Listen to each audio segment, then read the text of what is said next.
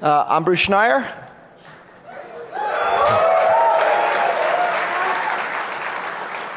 Thank you. Are there any questions? I'm serious. Look, if there are no questions, you're all going to get to go early. All right, question over there. Oh. Um, I know we're going to get into uh, uh, questions on security, uh, your expertise in uh, Twofish, uh, the books you've written, uh, I- I and don't- your abilities to securely erase a hard drive by shaking it by an etch a sketch are all well known. but I'd like to tap into another uh, another uh, realm expertise. Where can I go in Vegas to get a reasonably priced meal that's really, really good?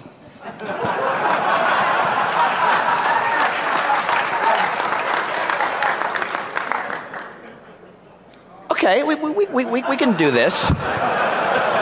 So, so, so fundamentally, you've got, you've got two dynamics going on. You've got the first dynamic, right, which is, you know, good, cheap, and fast, pick any two. So, so, you're so you have that problem. The other thing you have, that's what makes Vegas interesting, is a lot of Vegas is subsidized by gamblers. Right, Go to places that want to have gamblers. Right, That's where they're going to get the food cheap because gamblers are subsidizing it. Right, This is a very weird economy here because stuff tends not to be normally priced. And, and- and, you know, that's, I gave a talk a long time ago on hacking Las Vegas. And, and one of the ways to hack Vegas, one of, actually one of the, your best, one of your best bets for value, bets is a bad word, uh, is sportsbook. Because you can go to one of those sportsbook rooms, bet on a football game, and basically drink for free for a couple of hours. Right? Because the turnover is so low. So for Vegas, you know, one, best way to win is not to play.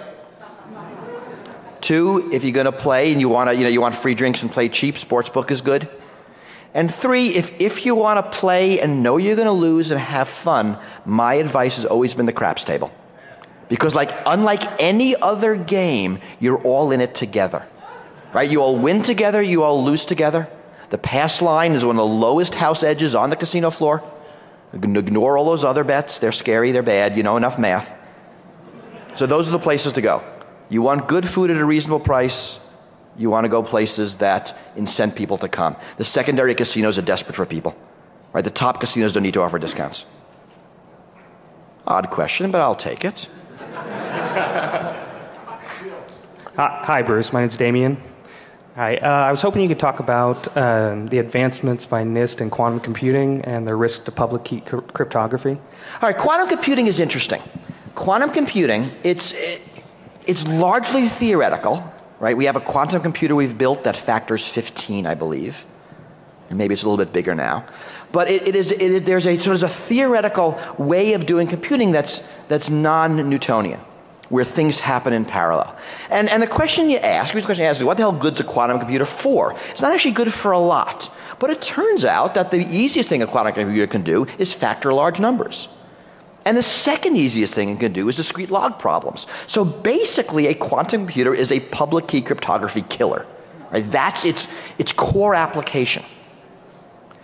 Against everything else, it's hard to tell what it can do. The, the, at a theoretical level, the maximum it can do is decrease the complexity of any computation by a factor of a square root. Effectively, that means in symmetric cryptography, having the key. Right, so if you have a 128-bit key that's secure against all computers, which it is, someone invents a quantum computer, you need a 256-bit key to get the same level of security. So against symmetric cryptography, quantum computers are not an issue. Right? It's really easy to double a key length. Against public key cryptography, it is a huge big deal because it could make our basic public key algorithms obsolete. Right? It can make factoring easy, it can make it linear. Now, things aren't all bad. There are a number of public key algorithms uh, that use coding theory. Some of them been in the 70s and 80s, uh, a little work in the 90s. Largely, they're only done by coding theorists, and we cryptographers ignore them because it is so obscure and so inefficient compared to RSA or Diffie-Hellman that we don't need them. But they do exist, and they would be secure against quantum computation as far as we know today. So when you look at quantum computers, I mean, looking into, into the science fiction future, it does have the, uh, the potential of changing things, but not all that much. It doesn't make secrecy go away. It doesn't make a cryptography go away. It doesn't even make public key cryptography go away. It makes certain algorithms go away, and it makes certain algorithms insecure. And I think quantum computing is great. I mean, I, I, I love the theory. But, you know, is it going to be practical in our lifetimes? You know, it's hard to know. You know, right now there are some very, very severe limitations, like, the, like making the I.O. work. But, you know, we're really good at this. This, this is now turning into engineering. When we come back here in 10 years, there might be a quantum computing room at DEF CON. That'd be kind of fun.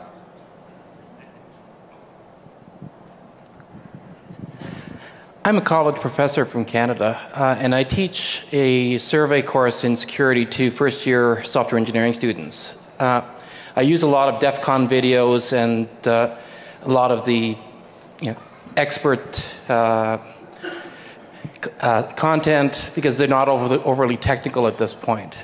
Uh, what advice would you have for me to try and what should I try and communicate to the students, and what advice would you give to them, seeing that they'll probably be seeing this talk on video in about uh, six months? You know, interesting. I, I, think hackers are an extremely valuable part of society. And I, and I wrote an essay some years ago on, on the mindset of hacking. And I, I wonder if it's something that can be taught. Right? You can teach domain expertise. Right? I can teach networking Right? I can teach lock picking. I can teach how airline security works. But the mindset of looking at systems in that certain sideways way, I think is almost innate. The example I always love to use, I you ever hear of uh, Uncle Milton's ant farm? It still exists. I mean, it was around when I was a kid. And it's this little plastic, narrow thing and you fill it with sand and you, and you, put ants in it and you watch them dig tunnels. It's kind of cool. When you buy Uncle Milton's ant farm, which you can at any hobby store, it comes with a, it doesn't come with ants because that would be kind of weird. Right? It comes with a, a little certificate that you mail into the company and they send you a tube of ants. Right? So the normal person looks at this and says, "Whoa, I can get a tube of ants." I look at this and say, "You mean I can send a tube of ants to anybody I want?" What a great country. and that's thinking like a hacker thinks. Right? How can I take this system and make it do something that it's not supposed to do, that it's not intended to do, that the organizers didn't, the creators didn't envision it to do? And I think this is something you walk around the world doing. Now, I remember when I was a kid uh, going into a voting booth with my mother, I'm, I'm yay tall, and I'm looking around and saying, I could cheat this machine. Right? You don't have to do it, but you have to think that way. So I like exercises that flex that muscle. Uh, uh, Yoshi Kohno teaches a course in, in Hacking University of Washington. And he has his students kind of keep a blog together on hacking systems. And one of them writes a post on what it's like to return a car to Avis and ways you can hack that. And someone else is looking at you know, some, some other random commerce system. And, and, and it almost, almost doesn't matter what. Right? And how can you get more food at the Thanksgiving dinner table than you're supposed to? Just ways to think about how systems work, how they, how they fail, how they can be made to fail. And all else is domain expertise. And all else, and that's going to change. I mean, the talks we're seeing here at DEF CON this year are not the same types of talks we saw 15, 20 years ago. Right? The, the world's changing, but that way of thinking doesn't change. Right? The badges get weirder, but right? It's all about. I mean, and the badges are started out to be a, little arms race between people who wanted to fa- forge the badges and people who didn't want the badges forged. Now they've kind of taken a life of their own. So, you know, and I've written a couple essays on this, and I sort of urge, urge you to, to look at them and give them to your students. But, you know, thinking like a hacker, and, and it's a valuable tool for all life, not just for hacking, right? Advertising is hacking, politics is hacking. Right? How can I subvert the system for my personal aim? And looking how to do that, I think, is interesting. All right, so as an aside, people who ask questions, you might notice you're being given an envelope. The envelope is, has my initials on it and has a number on it. Those of you who have one, save it. It will become valuable later. Those of you who don't mm, might want to ask a question. I wanted to hear your thoughts on the TSA pat down process and the potential for, us, for it to make us less safe. I'll give you a quick example. So, when I opt out, I don't go through any scanner, not even a metal detector, and I'm walked past already pre screened uh, flyers or passengers. So, there's a potential that I could drop something off or pass something off to an accomplice at that point uh, because the line is grayed between cleared and non cleared passengers. And, and then once I'm patted down, they often don't check the bottom of my feet and some other areas. It's funny, I've noticed this too. I don't know if people have. You know, right now when you go through the full body scanners, you're allowed to opt out. And I really recommend you all opt out. You know, not because the radiation is going to kill you, but because if we don't exercise our rights to opt out, we lose them. And, you, and I opt out, and I opt out not to have a private room. You're going to do this to me in public so people can watch. And he makes a really interesting point that I've noticed. So the way this works is you stand in front of the machine, and the guy says, go through, and you say opt out. And uh, you know, some, I've been told, it's never happened to me, that sometimes they ask you why and try to convince you to do it. They would never do that to me. They just say, okay. And they go in the little microphone and say, opt out male. And then some guy comes and pats me down. And he's right. They don't send me through the metal detector. They take me around both machines, the full body scanner and the metal detector, and do a manual pat down, which for any of you in law enforcement knows is kind of a joke because any pat down that is not personally embarrassing is actually not very effective. And I have, I have asked TSA people and not gotten a good answer. Why, when someone opts out, you don't send them through the metal detector and then pat them down? The metal detector is right there, it's being used, they're shutting people to A or B, and I don't have a good answer. And I think that that does make you a lot less safe because it's really easy to send something through a pat down. I mean, so uh, I, the, the pass off scenario I think is going to be less likely. I mean, you got to rely on you know getting lucky and things moving at the right speed, and if, and if you get it wrong, now you've got the thing in your hand, and that's kind of awkward. but in general, I kind of think these measures are in the noise. You know, and you always see. I mean, we had we had a newspaper story this week about some what some 13 year old who got on a plane without a passport and without going through security in like Scotland or something. You know, those things don't really bother me because you can't build a plot around them because they're not reliable. I mean, right now we know that, I mean, we don't, we don't know the numbers, the TSA doesn't report them, but some percentage of guns get through airport security. Right? They run tests, and airport security fails to catch some percentage of guns and some larger percentage of knives. Right? In a sense, that's okay because you can't build a plot. Now, uh, compare, I mean, a gun to a bottle of water. Right? If, if a TSA agent catches you with a gun, he's going to call the FBI, and at the very least, he's going to ruin your day. If the TSA agent catches you with a bottle of water, he tosses it in, in, a, in a trash and you go right through. What that means, even a reasonably good percentage of gun detection is enough to foil a gun plot, but anything less than 100% perfect water detection system is useless because you can keep trying until you get in. There's no penalty for failure in the water case as opposed to the gun case. Right? So I definitely agree with you that that's a very weird TSA procedure about not sending you through the metal detector when you opt for a pat down. But I'm not that concerned about it because of sort of the dynamics of the whole system. Hope I answered that question. That's actually an interesting one. Hi, Austin Holt. Uh, we met earlier. Hey. I get earlier here. I don't know if you wanted to like I was everyone was wanting Briefly, their picture yeah. taken, and we were going to do like no talks but just pictures but that doesn't scale as well as this does. I've got a question about application security. So, when we have commercial software or any type of product, I think it's important not to blindly trust the developer's claims that it works the way it's intended. They claim it to work for access control, any of the security functionality. Um, a current way that that's being done internationally is there's security evaluations that can be done on the software. Uh, the common criteria is the current international standard. OWASP has the application security verification standard.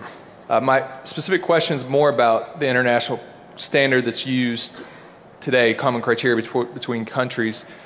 Do you have any recommendations uh, on how to improve the current system and make it better? I don't know. What are your thoughts? I mean, I think it's becoming worse. I mean, I think you said something very wrong in the beginning. You said that you know we're taught not to trust things and, and, and not trust manufacturers' claims.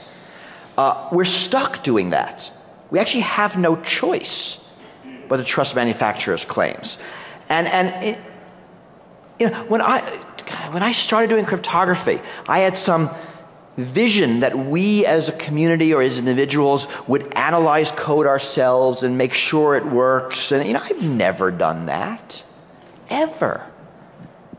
You know, sometimes it's claims of a tr- someone I trust more. I mean, I know the people who wrote PGP and I tend to trust it more. But generally, operating systems, uh, code, even security code, we are always, we have no choice but to trust claims of vendors, of writers. I mean, I, I write something called Password Safe. I mean, I used to write it. Now it's now it's being written by uh, uh, Rony Shapira, a hacker in Israel. I'm trusting him. You're trusting him. You're trusting me. We're all trusting each other. Right? as soon as society gets specialized, right, at a very real level, we have no choice but to trust each other. That's what my latest book's about. You know, I'm going to drink that bottle of water and I'm going to trust that it's not poisoned, even though uh, it's been opened. But I'm going to do it. And, and it's getting worse, right? I mean, in the beginning, we built, I mean, like the way beginning, we built our own hardware. Then we bought hardware and wrote our own software. Right? Then we bought, bought software and wrote our own applications on top of it. Then we bought applications. Right? Now we're in the cloud. We don't actually own anything. Right? We're trusting at at such a huge level. My Gmail. Anyone have any freaking clue what operating system Facebook uses? Anybody care? Right? We have to trust it. So, one of the ways we trust things are through these standards. And the thought is that there are some independent verification or auditing and, and so common criteria is a standard. There are ISO standards. There are NIST cryptography standards. Right? You know, and, and we look at a product or a service and it has a bunch of buzzwords and we say, oh, those are good ones. And, and, and you know, in a sense, they're all sort of equally mediocre because all the standards ever do is secure the system against a known list of attacks. Right? Yes, it does this. Yes, it does that. Right? You can never have a standard of is it secure. You can have a standard of is it not insecure in this particular way. Right? But when you look at, at new attacks, new ways of thinking, new new threat models. So, you know, I like standards, but I, I don't get too wrapped up in which one.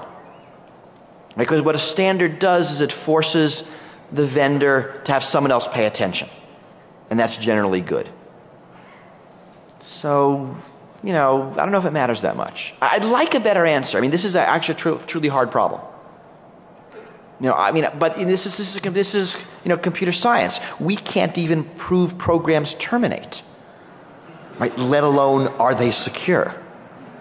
I mean, all we can say is, and this isn't bad, right? I can't break it, and all those other smart people can't either and they've tried for a month. But we don't know what happens if they try for two months. Now, you all know this. This is, this is what hacking is about. And this is why a new person can go to an old problem and look at it a new way and, and, and, and figure out a way in. Thank you. Hi, Bruce. My name is Pete. I have a couple of TSA related questions. First one is it seems to me that forever the US Congress has routinely exempted themselves from all the crap they pass on to us taxes, insider trading, healthcare, whatever.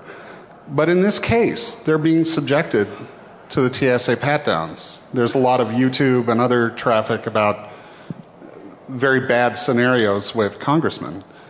And I'm wondering, is that indicative that there's a new gang taking over or something? You know, it's interesting. I mean, pilots had this issue too. I mean, and, and, and some very, uh, Patrick Smith, who writes the Ask the Pilot column, was very vocal about, you know, why are you screening pilots when they're controlling the airplanes? Aren't you? You're not thinking this through. And, and I argue that actually he's not thinking it's true. Because the issue isn't screening pilots, the issue is screening people who have pilot IDs. So either I have two choices, right? I either build an entire subsystem on pilot ID verification, or I just freaking screen everybody. And, and, I think the same kind of dynamic is working with, with, with Congress. I mean, sure, you know, Obama doesn't get screened, he doesn't fly commercial. The, that it's just building in the exceptions was such a big thing, and they, and they did airport security so fast you know, if this becomes institutionalized, then you'll see, you know, fast lane. I mean, right now we have the TSA pre-check program. Right? I'm sure all of Congress is in pre-check. Right? You know, so those sorts of, of bypassing the line systems only happen after something becomes institutionalized. When it first showed up, it was, we need to do this quickly. So, so you didn't have that. But you know, it's an interesting point because you're right, they do exempt themselves. You know, and maybe it is that screening is just so quick. I mean, it's not like, you know, taxes, which, which really, you know, matter at, at some financial level, the, the way, you know, pat downs don't. Thank you. The other question is um, You don't get two envelopes, you know. Oh, I'm sorry. Okay. Hey, my name's Andrew. I had a couple questions related to that um, age group of kids. I, I think we learned you get one of them. And uh, well, I've got a 10 and a 14 year old, and my brief story is. Uh, you know, I sat down at my son's computer in the kitchen to, you know, check some news websites, and his Skype log's open, and I see the message, "Don't run this file, Josh." And you know, there's a message says, "Oh, Josh, while you were cleaning your room, I wrote this little batch file that would open up terminal windows until your computer ran out of resources. So don't run it. You might not know how to stop it." When I got home, I thought it was a bad idea, so I wanted to tell you, don't run this file. So, based on your research for Beyond Fear and your new book too, and you know about self-regulating groups and how they you know self-enforce and things like that, I wondered if you'd comment on you know how that age group learns to be responsible with technology and things like that. So I, I, I have long said that the internet's the is the, the biggest uh, generation gap since rock and roll, uh, and and fundamentally, the the young people are the one. I mean, in any generation gap, the younger generation wins because the older generation dies. And whenever you see things like, you know, young people don't understand the internet, that's nonsense, right? I mean, they're the ones who are defining the internet. They're the, they're, they're the ones who create the internet. They're the ones who figure it out. It's the old people who don't. So, I, I, to me, young people have a much more intuitive grasp of the internet, of security, of, of the way things work in ways that we don't, and ways that scare us. I mean, you think about, you know, the, the I don't know, the, I don't know, rock and roll, the generation gap. I mean, what did the old people say What was the big problems? Right? It was, you know, drugs and sex and, and, and you know, women forgetting their place and, and right, you know, death of marriage. They kind of pretty much nailed it. And that's actually what, it actually ended up being pretty good. So the young people tend to be right. The really good person, anyone has, has especially teenagers, the ethnographer danah boyd, I truly recommend reading her stuff. She has a blog, she's written uh, papers, and, and, a number of her speeches are online about how young people use the internet and about how they assimilate. I mean, a lot of, I'm looking at this audience, and, and you know, a lot of you guys know this, but your parents don't. And, and, and, I think it really is, it's got to go the other way. I mean, I, I'm at a, go to a lot of security, security conferences where, you know, a bunch of industry people talk about how young people don't understand privacy. I mean, do you forget? Young people care a lot about privacy, right? From their parents, from their peers. Privacy is a huge deal when you're 16. I mean, I mean people are still people. But the, the intuitions are different. Because, and, and Richard Thieme talked about this an hour ago. People are at, at his talk. Right? The, the, the technology at which you come of age is the technology you find normal. and the technology you're good at. This whole nonsense about child predators, kids know who, who, who adults are who pretend to be kids. They're not fooled. It's the congressmen who are fooled. Please. My question is How do we secure those internet based applications where authentication is critical, and what are your thoughts on cloud computing? Well, you know, I mean, the two answers, right? Is one is we don't, and one is we, we, we do. I mean, and we, right, we largely do, right? You know, internet banking works pretty much okay. Right? It's not perfect, there are problems, but you know, we're good at authenticating things where it does matter. Right? Gaming works pretty much okay. Now, if any of you work for big companies, you probably have some kind of secure access token. That works pretty much okay. Uh, you know, there's, there's no magic bullet, lots of ways we can do it better. We're always fighting usability. Right? Nobody wants to put their thumb on a device. Nobody wants to learn to play Guitar Hero, if people follow that news story from last week, of implicit passwords. Right? I mean, you know, people just want to do their thing, and it's getting worse. And, and cloud computing is a really good example of this, right? Instead of my, my, my data on my device, my data is out there somewhere. But this is the future. You know, people who are, you know, talking about young people again, they are used to getting their content on the closest available screen. Right? At their house, at school, at their friend's house. Right? That's the way it's supposed to work. Right? People like it when they lose their iPhone they get a new one, push a button, and all their stuff magically appears on it. And, and again, if you start interviewing teenagers, they kind of don't really understand where their computer ends and the net begins. Because that boundary doesn't actually matter anymore, it's disappeared. And I think one of the, actually, uh, I'll sort of launch into this a little bit. I think one of the fundamental things going on in computing right now is this loss of control. Right? That we are losing control over the endpoints, right? I, don't have, I have no say in how, whether there's updates or not, basically. I have a Kindle, it's even worse. Right? So, I, I mean, I, I can't even write a file erasure program for this thing because I can't get to the memory. Right? So we're losing control of our, of our endpoints and we're losing control of our data. You know, I run Eudora, but I'm a freak. Right? Everyone else is on Gmail. Right? Their mail is on Google servers. So suddenly my authentication, which was I put this in my pocket, right, and I'm the one who's touching it, basically, so I can get by with just a password, because it's a password plus the fact that I'm not going to lose it, or it's in my locked house, now becomes just a password. So you need more authentication. We're not getting it because usability people don't want it. And there are going to be a bunch of issues here. And the loss of control is a big deal other ways, right? It's being used. Third parties are getting access to it for advertising, for marketing, law enforcement. It goes across borders, and then suddenly the NSA gets it, and it's in a computer in Utah. I mean, all these things are, are happening because Giving up control is such a powerful consumer thing. I mean, people want that. My mother does not want her photos on our computer. She'll screw it up. She wants Flickr to have them. When her computer crashes, the photos are saved. It's a Christmas miracle. and, I, and this is unfortunately, and I think it's unfortunate, this is going to be a much harder future to secure. Because security is about control. And I talked about trust. Now we have to trust all these entities, and you have no business relationship. Try calling Google customer service. Actually, Google has great customer service. The problem is you're not customers.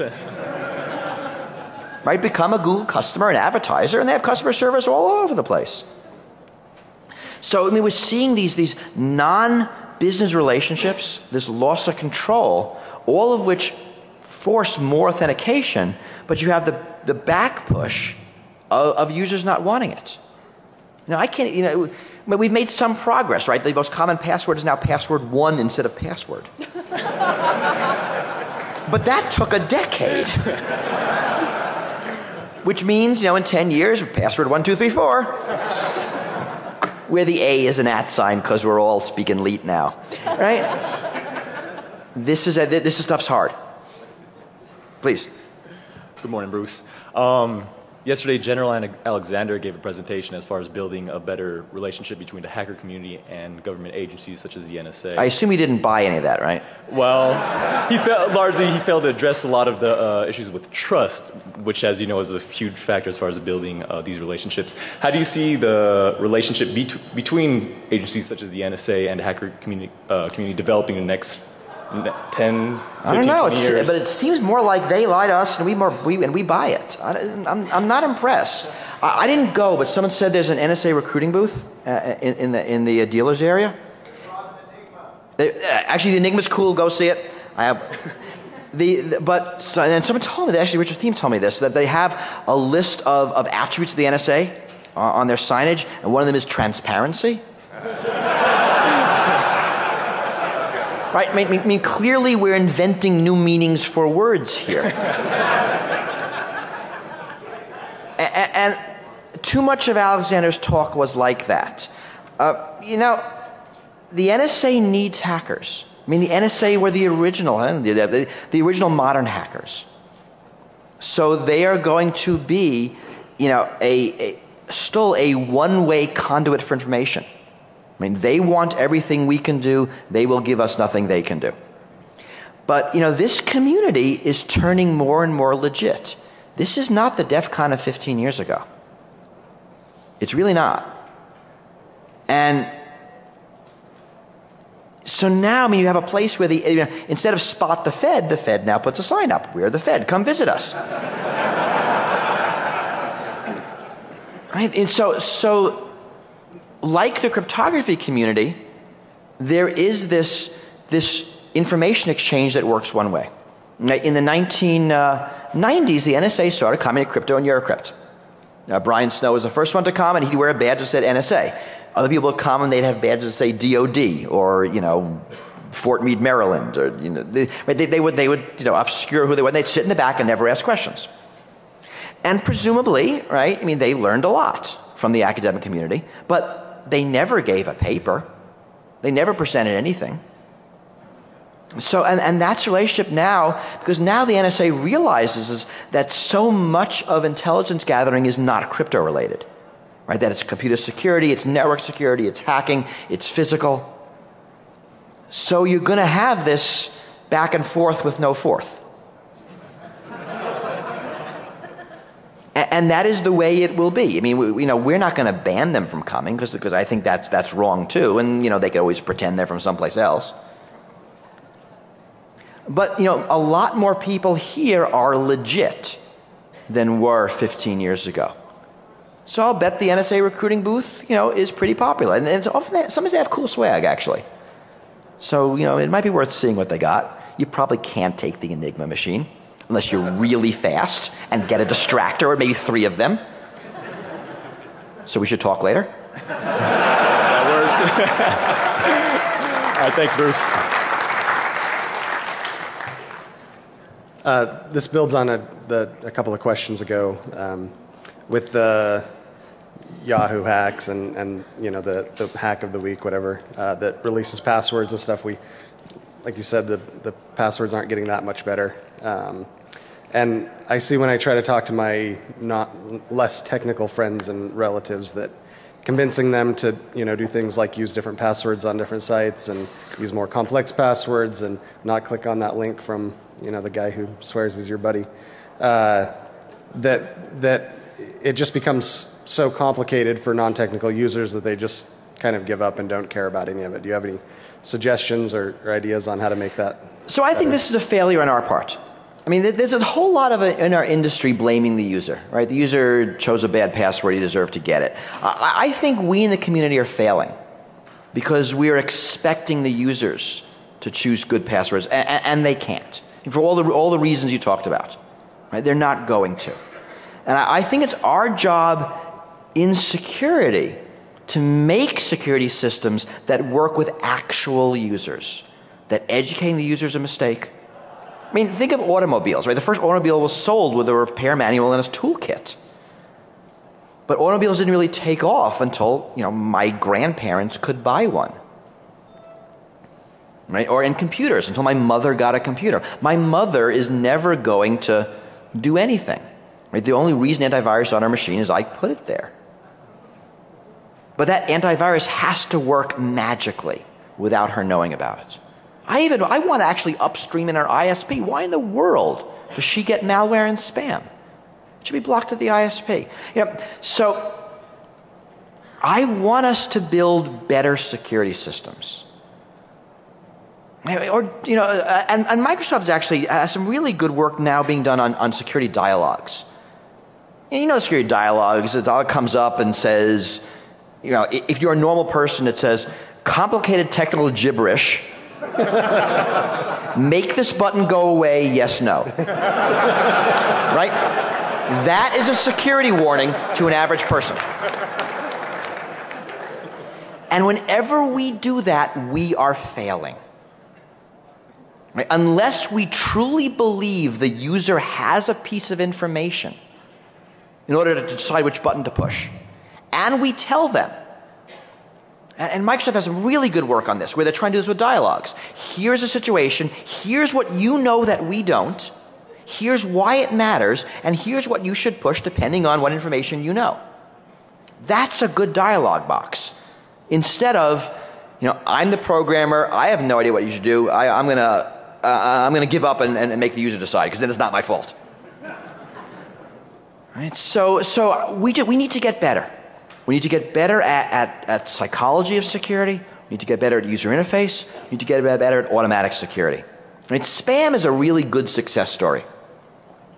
You know, anti-spam happens at the ISP largely, and I don't get any spam anymore, really. I get, them, get almost nothing. I mean, and spam's an enormous amount of internet traffic. But it just works magically. My mother doesn't get spam, and there's nothing she did. Right, that's good. That's what we want. The more we can do that, the better we'll do. Morning. Um, so I think one of the things that I find very useful about your writing is uh, analogies to bridging the non-technical and, and technical worlds. I love so, doing that. so well, one thing that I, I, wanted to ask about was BYOD and specifically, you know, mobile device security. As you can see, there's many talks uh, around mobile security here. What are some useful analogies I can use to get across some of the risks to my senior management? You know, BY, and I think BYD is again this trend of loss of control. Right? BY, I mean, people know this buzzword. It, it basically means your employer does no longer gives you a computer and says, "Here's a thousand dollars, buy a computer." And you know why? Because you've already got a computer, you've already got a cell phone. You don't actually want the corporate stuff. It's more to carry, and it just annoys you. Right? But then once that happens, you get the loss of control. So, uh, so this is, I think this, this is an important trend. This is a trend that is going to reduce security, a trend that's not going away because getting out of the provisioning business, I think, is, is, is valuable to companies. I mean, they don't actually want to give their employees cell phones. And, and you know, analogies, really think of it as loss of control. Because now, as an employer, I no longer control that endpoint. It's very similar to home banking customers in some ways. Because you can imagine that banks could give each one of their customers uh, an iPad Right? You must bank through this, and I can and I control it, and I set the patch levels, and you can't do anything else on it, so I can make it secure. But instead, I say, you know, go to your browser and log in from anywhere. Right? But, but that's and, that, and banking works that way. More and more of corporate IT is going to look like that. It's going to look like Facebook, right? It's going to look like you log into a, this site and, and, and the way that works, I mean, why banking works is you get a very, very limited number of things you can do. You don't log into your banking website and get a command line. That'd be cool. right? You get a bunch of options.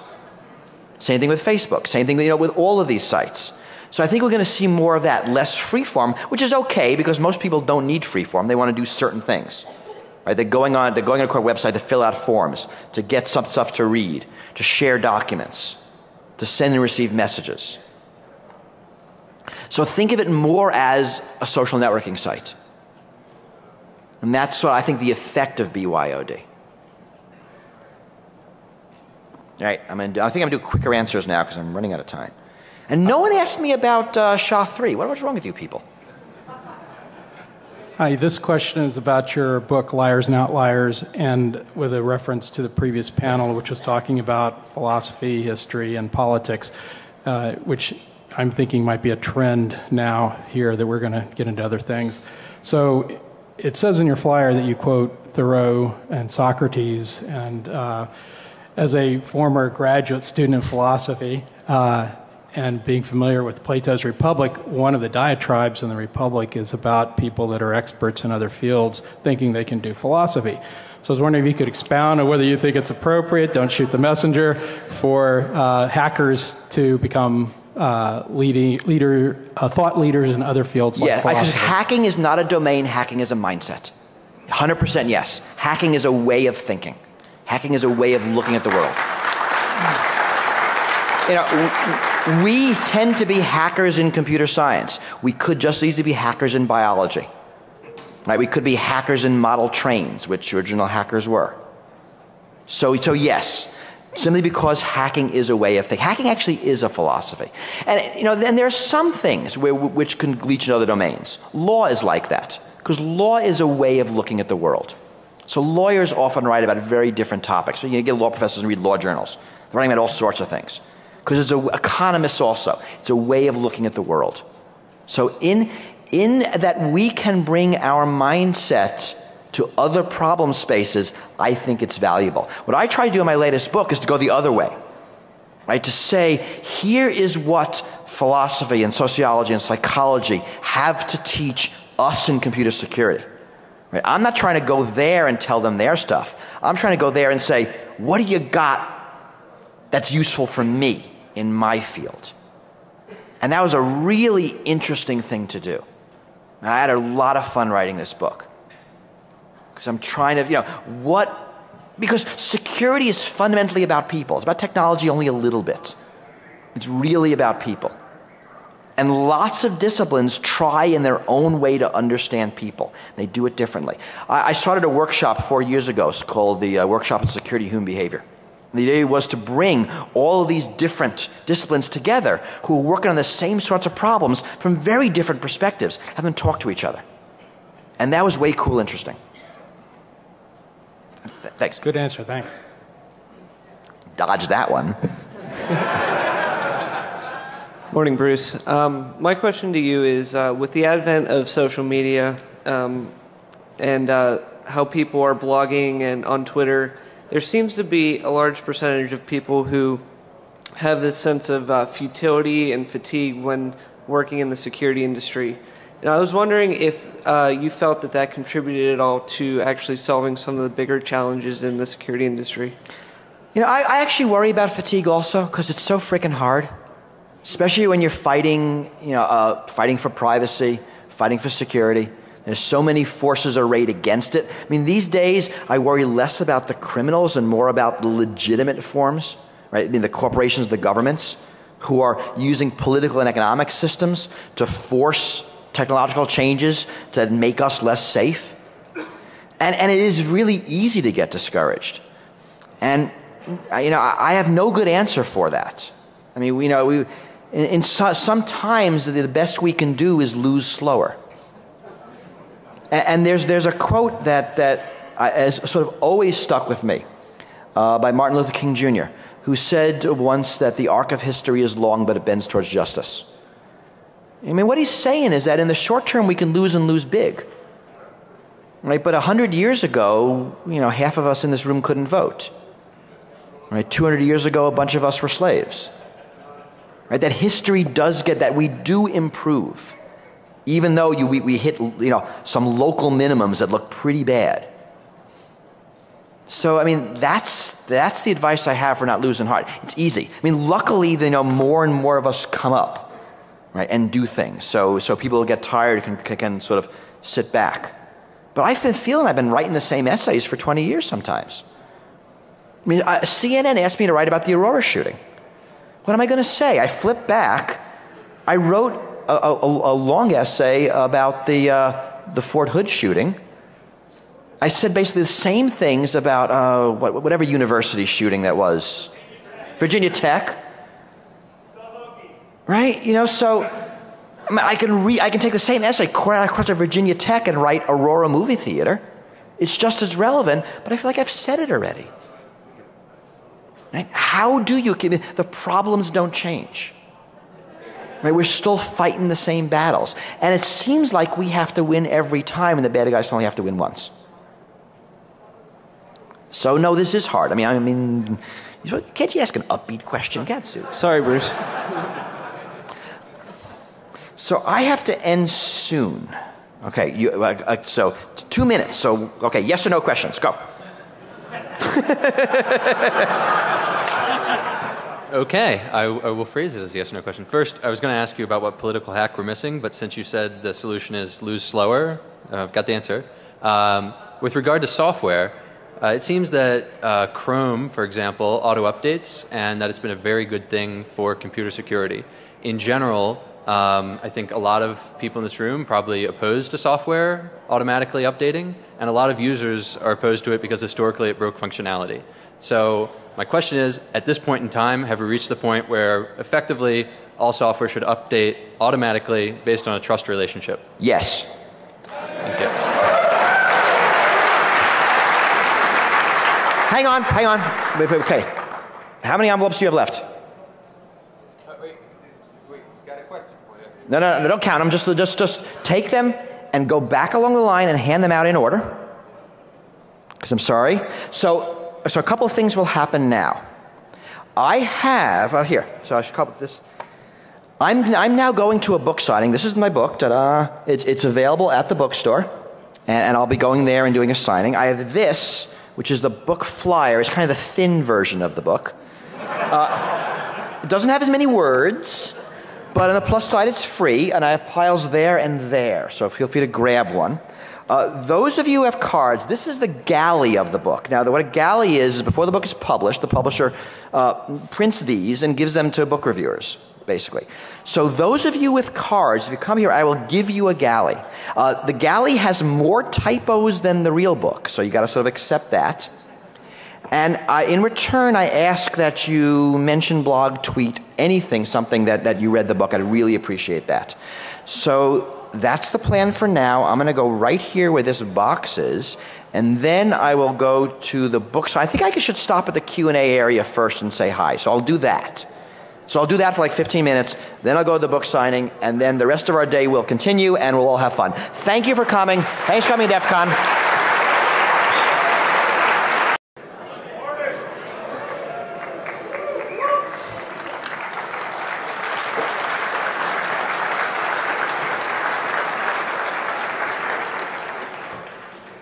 I'm Bruce Schneier.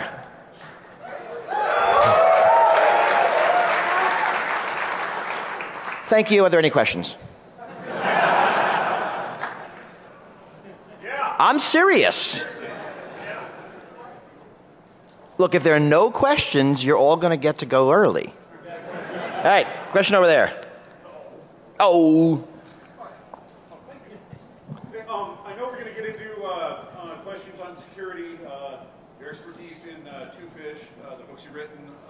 I, I your abilities to securely erase a hard drive by shaking it by an etch a sketch are all well known. but I'd like to tap into another uh, another uh, realm of your expertise. Where can I go in Vegas to get a reasonably priced deal that's really really good?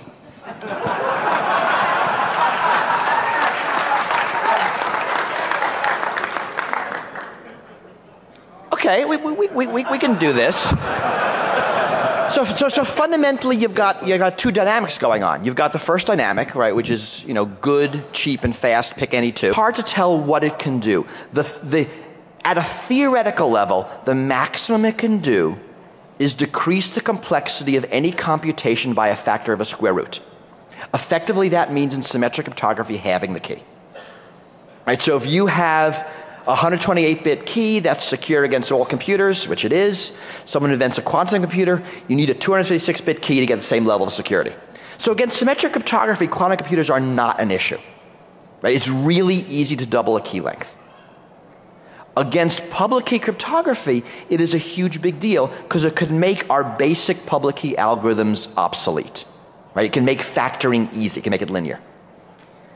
Now, things aren't all bad. There are a number of public key algorithms uh, that use coding theory. Some of them been in the 70s and 80s, uh, a little work in the 90s. Largely, they're only done by coding theorists, and we cryptographers ignore them because it is so obscure and so inefficient compared to RSA or Diffie-Hellman that we don't need them. But they do exist, and they would be secure against quantum computation as far as we know today. So when you look at quantum computers, I mean, looking into, into the science fiction future, it does have the, uh, the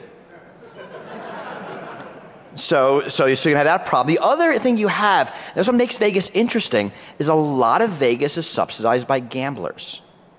Right? Go to places that want to have gamblers. Right? That's where they're going to get the food cheap because gamblers are subsidizing it. This is a very weird economy here because stuff tends not to be normally priced. And, and, and, you know, that's, I gave a talk a long time ago on hacking Las Vegas. And, and one of the ways to hack Vegas, one of, actually one of the, your best, one of your best bets for value, bets is a bad word, uh, is sportsbook.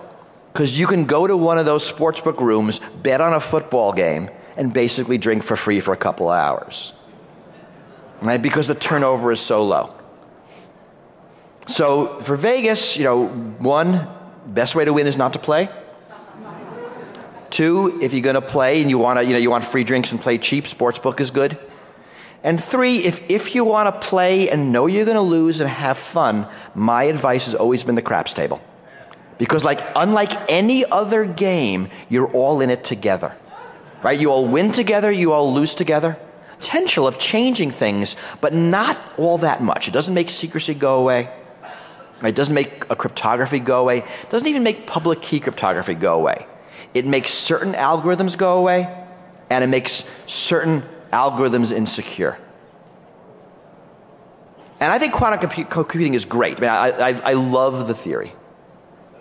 But, you know, is it going to be practical in our lifetimes? You know, it's hard to know. You know, right now there are some very, very severe limitations, like, the, like making the I/O work. But you know, we're really good at this. This, this is now turning into engineering. When we come back here in 10 years, there might be a quantum computing room at DEF CON. That'd be kind of fun.